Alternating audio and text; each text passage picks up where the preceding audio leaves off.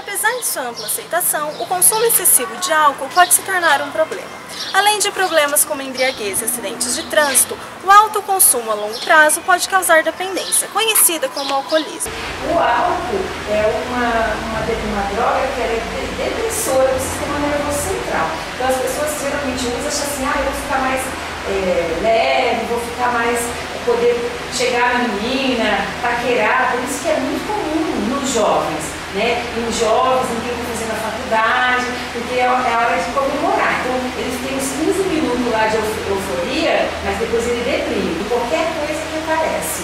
Né? Ela tem embaixo da cama, porque ela acorda durante a noite e já tem a necessidade de usar, de tomar um gole que passa muito mal. Né? As pessoas acham que ah, algo não, né? muito socialmente aceito. Como saber que eu vou dependente?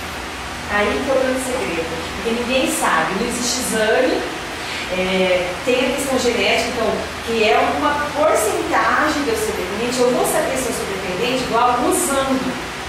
Né? E aí começa assim, ah, eu uso só final de semana, agora eu uso sexta, sábado e domingo. Agora não dá mais, eu uso segunda, quarta, sexta, sábado e domingo. E aí a hora que a pessoa percebe, ela está usando todos os dias e não consegue mais Segundo o Centro Brasileiro de Informações sobre Drogas Psicotrópicas, que são aquelas que agem diretamente no sistema nervoso, de 5 a 10% da população adulta é dependente do álcool, o que pode ser considerado um problema de saúde pública.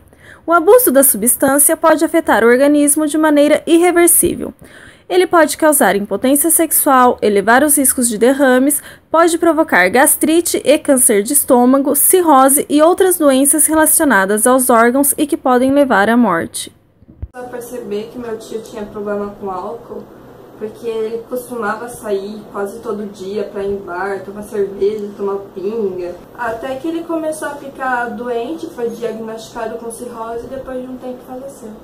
Um grupo bastante conhecido para tratamento de alcoolistas é o Alcoólicos Anônimos, mas existe também o CAPS, Centro de Atenção Psicossocial.